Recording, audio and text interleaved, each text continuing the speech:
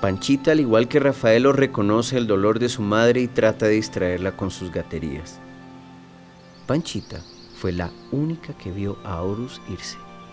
Inicialmente pensó en avisar. Luego lo pensó mejor. El perro, como cualquier otro ser consciente, ansía la libertad. Ella no es nadie para decidir por el can. Si él está dispuesto a pasar una mala vida por buscar su independencia, está en su derecho. Cuando Horus escapó de su nuevo hogar sin pensar las consecuencias de sus acciones, no era por una búsqueda vana de libertad como llegó a pensar Panchita. La verdad, ni pensó que lo estaba haciendo. Fue más un deseo fugaz pero presente, un no futuro, una respuesta al ¿qué pasaría si? Si siempre me devuelvo, si siempre hago caso, ¿qué pasaría si hago lo contrario? Pero todo esto son solo elucubraciones porque la realidad concreta es que Horus no se acuerda el por qué corrió. Solo lo hizo, y ahora el sonido penetrante del viento cercano a la noche lo ha despertado de su trance aventurero y como una chispa en su cerebro ha infundido un pensamiento oscuro y su mayor temor. No sé dónde estoy.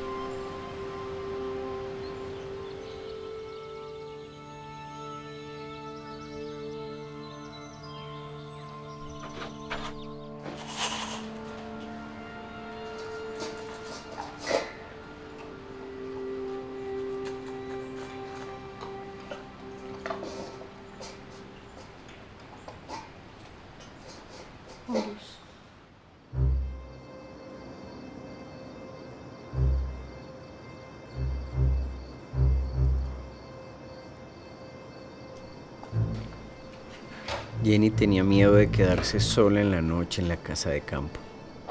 En su nueva vida, el hecho del miedo frente al dolor parecía poca cosa y dejó de prestarle atención.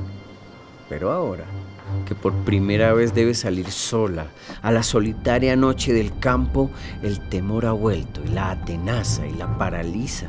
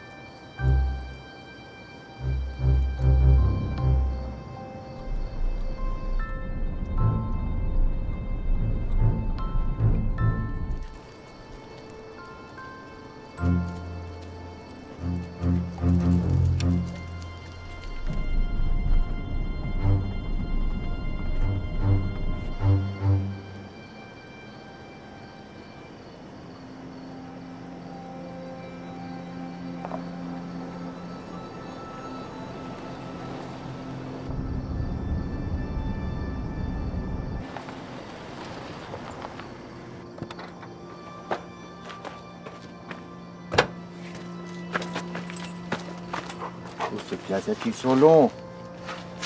¿Usted quién es? De falsas ilusiones está pavimentado el camino de los corazones rotos.